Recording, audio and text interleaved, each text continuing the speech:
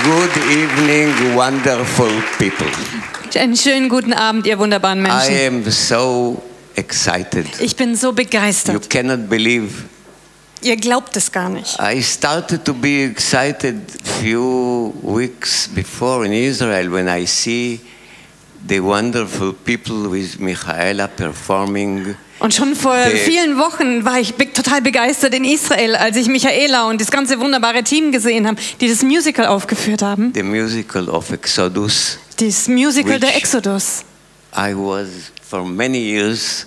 I has not been excited like this. Und ich sag's euch, seit And vielen I Jahren meet- war ich schon nicht so begeistert wie da. And I meet here some people. Und ich habe hier leaders, einige von euch and kennengelernt, eure Leiter, Jobs und and Charlotte Heinz and und Heinz Thomas. und Thomas And also our Eagle und auch and unseren Egal Martin. und Martin. You are the army of life, of life and reconciliation. Und ihr seid eine And Armee des Lichts, des Lebens soldier. und der Versöhnung und I ich am bin euer Soldat. Ich stehe mit euch.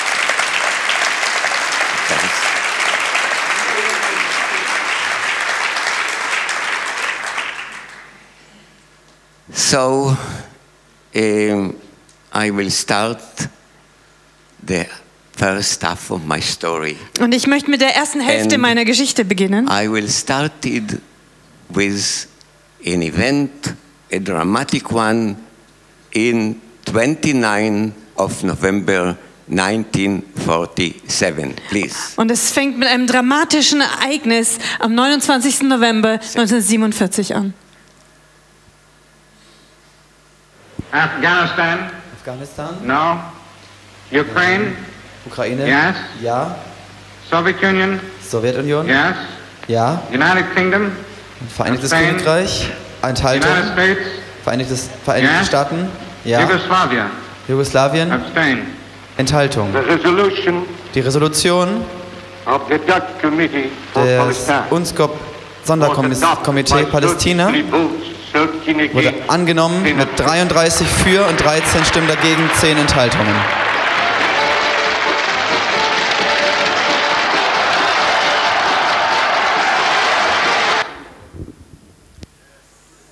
Such a dramatical event. Und das war wirklich ein sehr dramatisches Ereignis. This event, where all the Jewish uh, communities all over the world were celebrating, and also here you can see children in a British detention camp in north of Germany, near Lübeck, Amstel called. Und das war ein dramatisches Ereignis, das in allen jüdischen Gemeinden, Gemeinschaften weltweit gefeiert wurde. Und hier könnt ihr jüdische Kinder in einem britischen äh, ja, Lager sehen. Das ist in Amstau in Norddeutschland. I am here in the second class of the primary school. I am near the teacher with the hat. Also ich bin da ist zu sehen, das ist in der zweiten Grundschulklasse, in, in der Nähe von dem Lehrer mit dem Hut. And we go to collect money to send to Israel for preparing the land. Und wir haben Geld gesammelt, um das nach Israel zu schicken, damit dort alles vorbereitet werden konnte. And after this, we gathered all of us in a big hall. Und anschließend haben wir uns alle in einem riesen Saal versammelt. I am sitting down on the right side, which is almost uh, burned. Und da unten sitze ich rechts, wo der Lichtfleck drauf ist. And there are many performances Und da gab es viele Aufführungen and speakers. und Sprecher. And what the speakers say. Und was One haben diese Sprecher gesagt? Another, Einer nach dem anderen. one of them was the father of Isaac uh, Rosman. Und einer von ihnen war der Vater von Isaac Grossmann. Say. Und was haben die gesagt? That we Sie haben gesagt, dass wir, here die Leute da, have a big part in the decision which was the last night. dass wir einen wichtigen Part gespielt hatten bei der Entscheidung, die am Abend davor gefallen war. So, who are those people? Wer sind also diese Leute? What do they think that they have part of such a dramatical decision? Was glauben die eigentlich, dass sie einen Teil gespielt hätten, eine Rolle in einer so wichtigen Entscheidung? This is the story of those people, my story. Das ist also die Geschichte of an era. dieser Leute, ist meine Geschichte, die Geschichte einer ganzen Ära. And I have to roll this story back Aber ich muss to give you some background in der Geschichte ein bisschen zurückspulen. and my family. Um euch da ähm, etwas Hintergrundinformationen über mich und meine Familie zu geben. Das finden wir da. I was born in the city of Odessa, Ich wurde in der Stadt Odessa geboren. one of the biggest Jewish communities all over the world. Almost 40% of the population before the World War II. Das war eine der größten jüdischen Gemeinden weltweit eigentlich. Fast 40 Prozent der Stadt waren vor dem Ersten Weltkrieg jüdisch. My family has long roots in Odessa. Mother, my family of my mother arrived from Germany. Meine Familie hat schon seit langem ihre Wurzeln in Odessa gehabt. Die Familie meiner Mutter, die kamen aus Deutschland nach Odessa. And my father family arrived from Belarus. Und die Familie meines Vaters kam aus Weißrussland. 150 years of generations in the city before the World War. Schon My 150 Jahre lang vor dem Weltkrieg hatten meine Familie also in dieser Stadt gelebt. My uh, grandfather from side of father was activist of the mutiny of the Potemkin battleship 1905 Und mein Großvater väterlicherseits war aktiv an der äh, ähm, Rebellion auf der Potjomkin beteiligt gewesen. he was arrested Und er wurde gefangen gesetzt. released Wieder but he freigelassen. was a social revolutionary Aber der war ein sozialer Revoluzer. and when the communists approached approached Odessa in 1921 he Ab- escaped to the Romanian border and he was he disappeared Als die Kommunisten dann im Jahr 21 n- äh, sich Odessa näherten, ist er geflohen zur, zur Grenze nach Rumänien hin und dort ist er verschwunden. My grandmother remained with my father. Und meine he Großmutter blieb mit meinem Vater allein zurück und er wuchs dann auf He became an officer in the Navy, a medical officer. und wurde, er wurde dann zu einem medizinischen Offizier in der Marine. I visited the home I was born in Odessa twice with my family. Und ich habe mit meiner Familie zweimal schon meinen Geburtsort in Odessa besucht. I arranged a movie about this visit, which is also contained the story of my father, his fight, and what happened, and a small extract of few minutes of this movie I will give you now. Und ich habe einen äh, Film auch zusammengestellt über diese Zeit, die enthält auch die Geschichte von meinem Vater und seinen Kämpfen. Und jetzt sehen wir da einen Ausschnitt draus. Odessa 1941. Mein Vater, Lieutenant Michael, dient seit drei Jahren als ein medizinischer Offizier in, der See, in den Seestreitkräften der Sowjetunion. Und dann bricht der Krieg aus.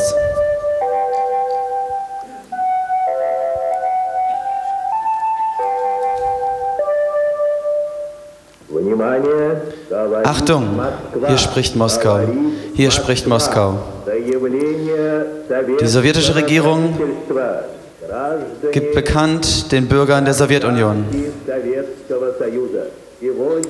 Heute, am 22. Juni, um 4 Uhr morgens, ohne eine Kriegserklärung, haben deutsche Truppen unser Land angegriffen.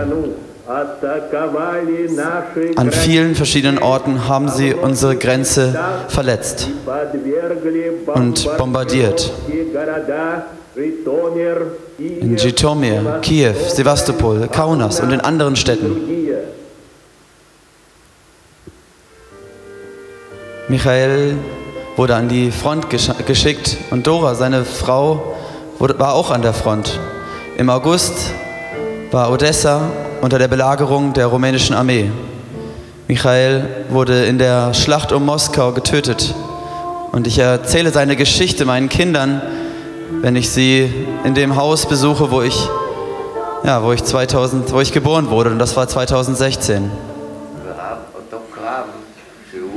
Die Schlacht, in der er getötet wurde, die war schrecklich. Viele der medizinischen Offiziere wurden getötet wegen der starken Bombardierung der deutschen Artillerie. Sogar während sie die Verwundeten behandelten. Vor allem die Offiziere. Und viele von ihnen wurden getötet. Und sie wurden in Massengräbern in diesem Gebiet vergraben. Das war im Januar 1942. Ja, am 18. Januar 1942. April 2016. Kadetten der ukrainischen Seestreitkräfte lösen die Ehrenparade an der Gedenkstätte für die Bürger von Odessa ab, die Opfer innerhalb der Seestreitkräfte waren, im Zweiten Weltkrieg waren. Medizinischer Offizier, dein Name soll gelobt sein. Du bist so weit weg, aber du bist so nah an meinem Herzen, auf dem Schlachtfeld, was niemand überlebt hat. Was hast du dort gemacht, du mutiger Mann? In diesem unmenschlichen Krieg bist du durch, den, durch das Feuer gerannt, während die Streitkräfte gekämpft haben. In diesem Inferno an dem Flussufer, als die Männer deinen Namen geschrien haben, bist du dort durch den Schnee gerobbt, als die Stadt in Flammen war. Fürchte dich nicht, Michael, du Arzt. Es gibt keinen Rauch mehr. Im, Im Himmel soll dein Name gelobt sein.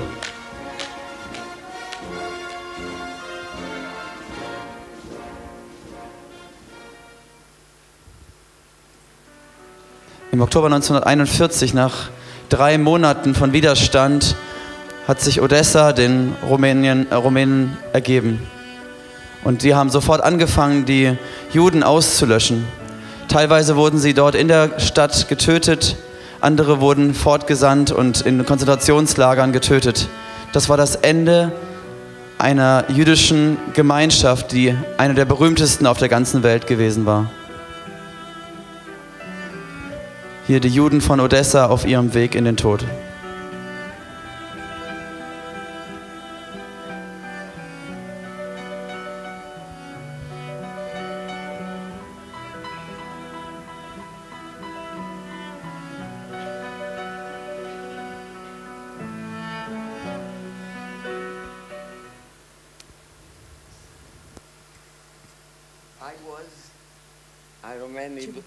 In Ironman in Odessa with my grandmother. Und ich my blieb- mother was also mobilized, and Odessa is, was under the siege.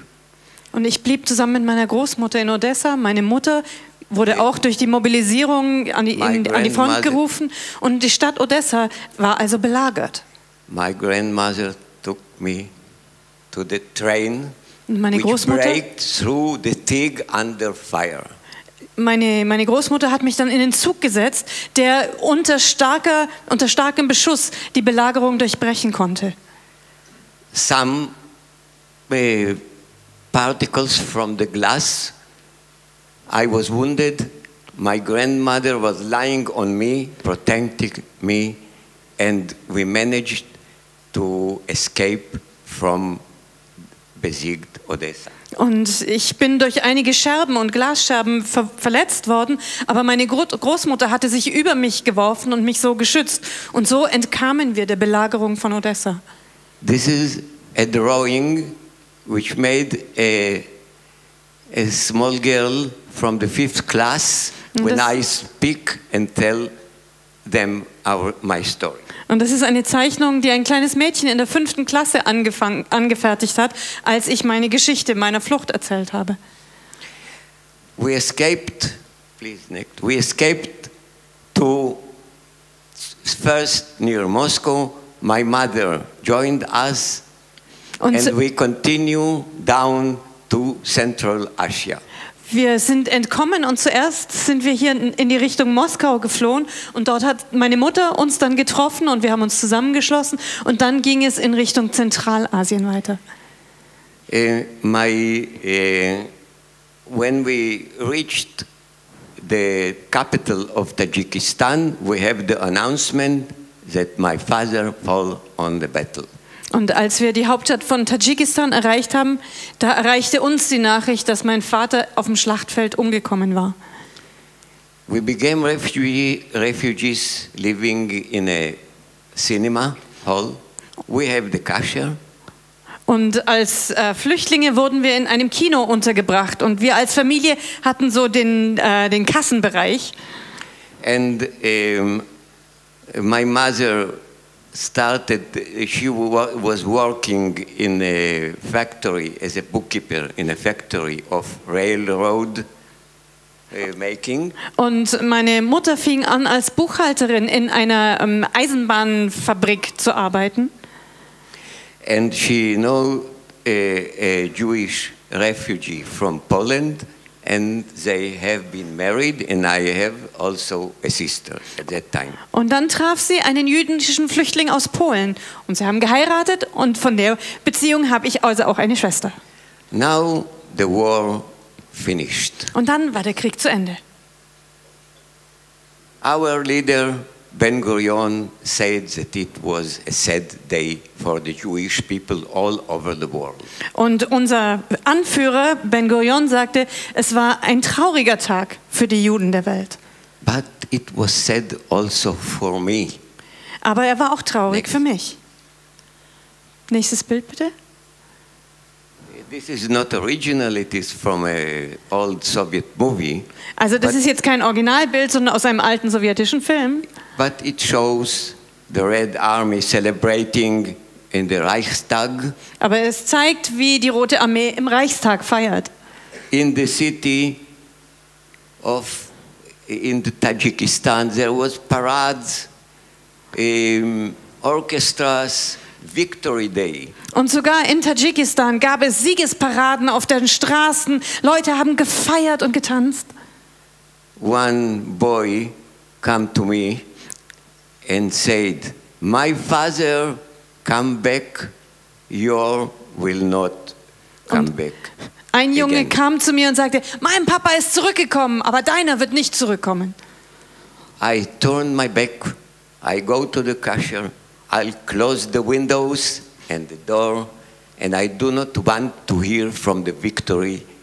Three days I do not go out from my house. Und ich bin nur zurück in das Kino gegangen, in meinen kleinen Kassenbereich, habe die Rollläden zugemacht. Ich wollte von dem ganzen Siegesrummel nichts mehr hören. Drei Tage lang habe ich diesen Raum nicht verlassen. So, what to do? The Was next sollte day, ich tun? my stepfather was a Zionist. Und am nächsten Tag war es dann so, mein Stiefvater war Zionist. He wanted to go back. He wanted to go to Israel. Und der wollte auf jeden Fall nach Israel. He, he has the right to return to Poland because of his Polish uh, passport. Und er hätte ein, das Recht gehabt, nach Polen zurückzukehren, weil er ja einen polnischen Pass hatte. He do, he do not wanted. Aber er wollte den gar nicht. My mother was his wife. My half sister was his daughter. They have the permission to go to Poland. Und meine Mutter war ja seine Frau und meine Schwester war seine Tochter. Die hätten alle die Erlaubnis gehabt, mit nach Polen zu gehen. But I not. I am Aber ich Soviet. halt nicht. Ich war ja ein Sowjet. Sowjetbürger. So they take risk on their life Also haben sie ihr Leben riskiert and fabricated my uh, uh, web birth document, my date of birth, and my place of birth, so, so I will be thought to be uh, the son of my stepfather. Und dann haben sie dieses Risiko auf sich genommen, um meine Geburtsurkunde zu fälschen mit einem neuen Geburtsdatum, einem neuen Geburtsort, einer neuen Staatsangehörigkeit, einfach damit ich sozusagen erscheine als der Sohn meines Stiefvaters. And we boarded a cargo train. Und dann haben wir einen Frachtzug bestiegen. The trains, it was part small part of a big movement in Europe at that time, which was called the escape. Aber dieser Zug war ein kleiner Teil einer großen Bewegung in Europa, die nannte man die Flucht. which the target was to bring most of the Jewish refugees, which has no home, Und das Ziel dabei war, die meisten jüdischen Flüchtlinge, die keine Heimat mehr hatten, wo sie hingehen könnten, to displaced camps in south of Germany under the American occupation. die in die P-Camps nach Süddeutschland zu bringen, die dort unter amerikanischer Leitung standen. One here is sitting my friend and colleague, son of the mass, one of the commanders of the escape movement, Yitzhak Rosman. Mein guter His Freund father, und Kamerad Mordechai, ist hier. was a commander in the escape movement. Itzhak äh, Rosman und sein Vater Mordechai war einer der leitenden Offiziere oder kommandierenden Offiziere dieser Fluchtbewegung. Tomorrow I will reveal another part of the activities. Also morgen verrate ich euch noch einen anderen Teil der Aktivitäten dort. But it was very dangerous. The Aber- Soviet and the communist regimes, they, they do not like this movement. Das war and sehr gefährlich, weil die Sowjets, denen gefiel diese Bewegung nicht. father of uh, Isaac said, uh, was sitting in a jail in Budapest because of this. Und der Vater von Isaac, der saß in Budapest in einem Gefängnis deswegen. So the commanders take us into the Kardok train and we started our long way from Asia, Central Asia to Europe.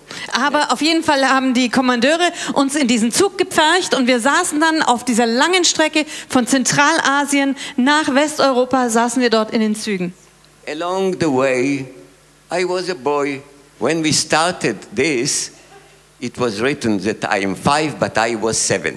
Also das war eine lange Strecke, ja. Und ich war ein Junge, also auf dem Papier stand, dass ich fünf war, als wir anfingen, aber eigentlich war ich ja schon sieben.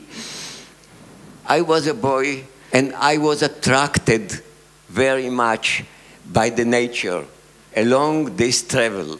Also ich war ein Junge, ja, und ich fand die ganze Natur, die Landschaft unglaublich attraktiv, die da außen uns begegnete. I have seen the big desert Karakum. Ich habe die große Wüste gesehen, Karakum. I have seen the lake of Aral.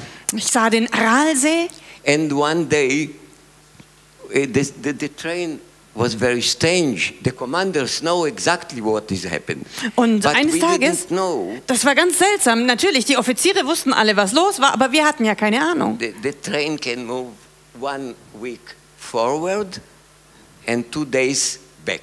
Der, der Zug, der fuhr immer eine Woche in die eine Richtung und zwei Tage wieder in die andere Richtung. Traveling few days, staying few Ein days. paar Tage unterwegs, paar Tage Stillstand. Nobody knows. Aber keiner hatte eine Ahnung, was abging. Now people uh, were running, you know, the locomotive was of, of vapor. Und- they were running to take water for tea, for coffee. Und wisst ihr, was los war? Weil das waren ja damals Dampfloks und die Leute kamen immer, um heißes Wasser für ihren Tee zu holen. And one day, Und one eines day, Tages- several people, in my stepfather with them, were, uh, the train started Da waren mehrere Leute unterwegs, um heißes Wasser zu holen und mein Stiefvater war dabei und der Zug setzte sich plötzlich in Bewegung und die hatten keine Chance mehr, in den Zug zu klettern. So, but our efficient commanders, after a week, they appear in an open train of coals. Aber unsere Kommandeure waren natürlich alle super effizient und eine Woche später tauchten sie plötzlich in einem offenen Kohlewaggon wieder auf. Black. Und die waren natürlich von oben bis unten schwarz. hm? Now, in one, I felt one day, uh, one night, water, I go down and I asked some of the people working, what is this? I have seen a big water mm, uh, body with ships. And he told me, this is Volga, the biggest river of Russia and Europe. Eines Tages sah ich plötzlich ganz viel Wasser draußen. Dann habe ich irgendwie die Leute dann gefragt, die da sich auskannten, weil das war so viel Wasser, da waren Schiffe drauf und überhaupt. Und sagten, das ist die Wolga. But the, the, my, what we have seen when we approached into Europe was terrible. Aber das, was wir sahen, als wir dann nach Europa reinkamen, war schrecklich. Burned villages, smashed cities. Niedergebrannte Dörfer, völlig zerstörte Städte. When, when the train approaches the Polish border, I have seen something which hurt me. Und als der Zug dann sich der polnischen Grenze näherte, da sah ich etwas, was mir sehr, sehr wehgetan I hat. have seen near the train some toys, In der Nähe der Schienen lagen Spielsachen, puppet, Puppen, bus. vielleicht ein Bus. And I asked myself, Und dann habe ich mich who- gefragt, where are the children? wo sind denn die Kinder, die zu Where den Spielsachen gehören? Wo sind die Eltern?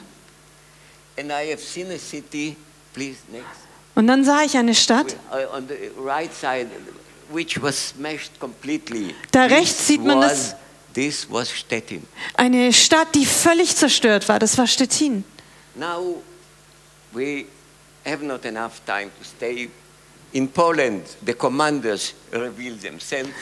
They organized us in a convoy of about 40 people, and we started to move by foot from Baltic Sea to the Czech border.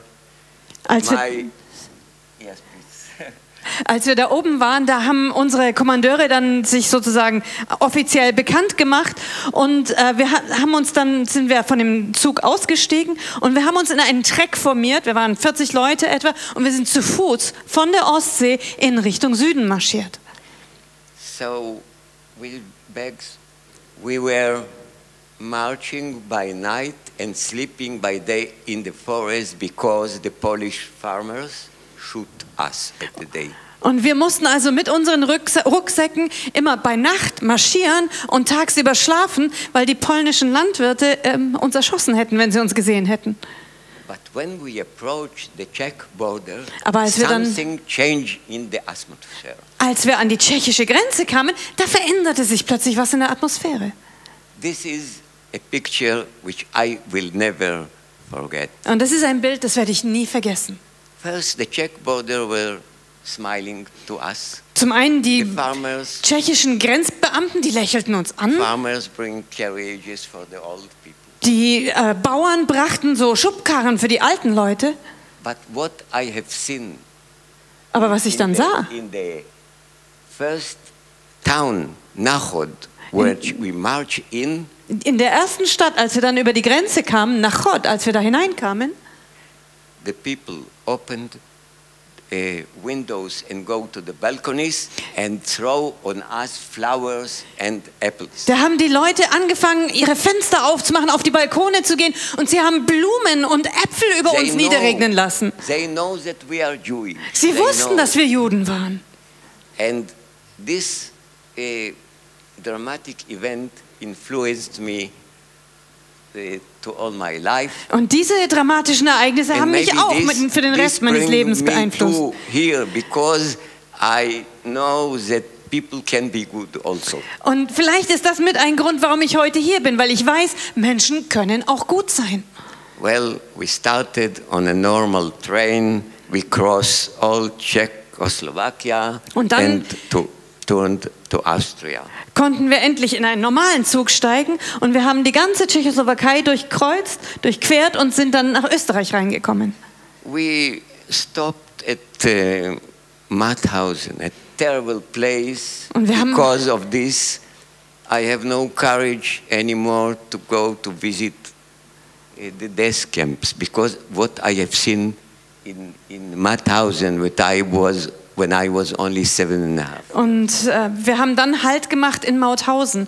Und das, was ich dort gesehen habe, das hat mir den Mut genommen, irgendwelche Todeslager jetzt noch zu besuchen, weil mit siebeneinhalb habe ich dort Dinge gesehen, das geht gar nicht. But when we crossed the German border, we are we met us. uh, We were uh, accepted by American soldiers. Aber als wir dann die Grenze nach Deutschland überschritten, wurden wir von amerikanischen Soldaten in Empfang genommen. The soldiers take us, the children, on their hands and give us candies. Die Soldaten, die nahmen uns Kinder in die Arme, die haben uns Süßigkeiten gegeben. I was taken by a big American soldier in Und and mich he hat- gave me a candy. Mich hat ein großer, starker amerikanischer Soldat in die Arme genommen. Der hat mir Bonbons gegeben. But I take out my handkerchief and I began to whip his face. Und dann habe ich aber mein Taschentuch rausgezogen und ihm angefangen, das Gesicht abzuwischen. Why? He Warum? was black. Weil der schwarz war. I have never seen Ich hatte noch nie einen Schwarzen gesehen. Well, we entered, we entered the camp. I'm going to finish. Dann kamen wir in das DP-Camp und ich mache gleich Schluss.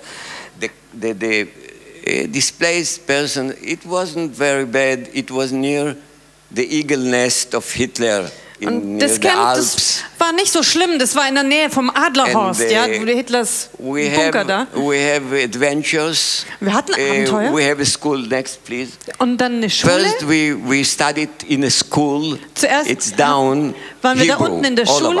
Ja, wir waren alle, waren wir da in der There Schule. was youth movement. Und dann gab es eine This Jugendbewegung is a pub and celebrations. und gefeiert haben wir.